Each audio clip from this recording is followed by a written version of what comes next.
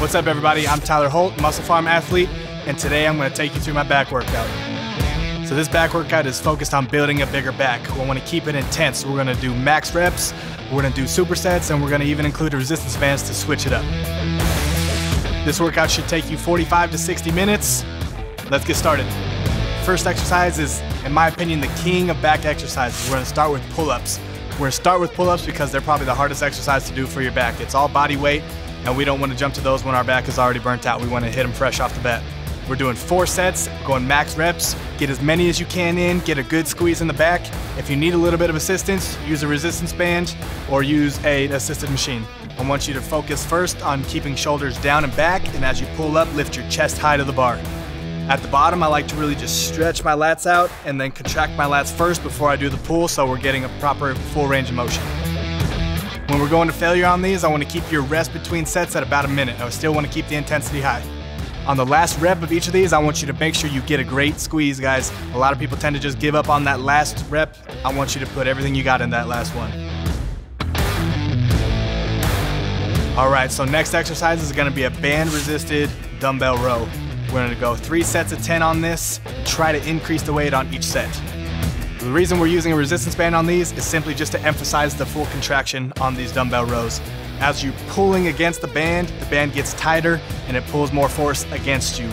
So on these guys, the sets are 10 of each, but I want you to increase the weight each set. I want you to work, I want you to keep it intense, I want you to really push yourself. It's gonna be hard, there's gonna be more weight, more gravity pulling you down and away from you, but just keep working through it.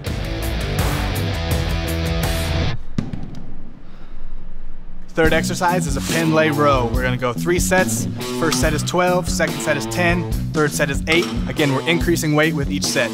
So the Pendlay row is very similar to a bent over row, but it's starting in a deadlift position. The reason we do it this way when we're doing a regular bent over row, we can use a lot of momentum going from rep to rep. This time, we're coming to a dead stop each rep, and we're making sure that we're using our full back to get that weight up each time. We're gonna set up just like a deadlift. We want a straight lower back, hips down, chest up, head up, and then we're going to explode from that dead stop position and do a bent over row. On this exercise, the row portion of it, we should be feeling our upper back working, but since we're coming to a dead stop in a deadlift position each time, our lower back's gonna get a little bit of work too.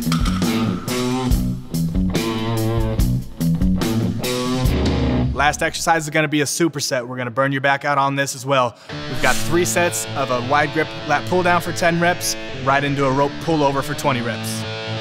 On this last exercise, we're really focused on building out the lats. We're gonna start with a wide grip pull down to build your back out wide, and then we're gonna hit a rope pull over to hit the insertion of the lats and help build that V taper. We're gonna go heavy on the lat pull downs to really break down the muscle fibers, and then we're gonna hit a high rep on the pullovers to pump your lats full of blood. Again, remember, when we're activating the back, we wanna go shoulders down and back first, always before we start the pull. Engage the back and then finish the movement.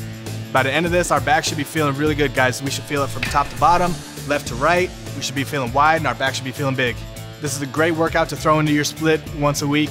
If you're really, really wanting to grow your back, throw it in twice a week, guys. By the end of this, six to eight weeks, our back should be noticeably wider and we should have more definition throughout the back full breakdown of this workout is here below on bodybuilding.com. And if you have any questions for me about this workout, you can find me on Instagram at tholt21 or Facebook Tyler Holt. For more videos and articles from athletes like myself, come back to bodybuilding.com. Over 45 fitness plans, daily workouts, results for life. Only $8.99 a month.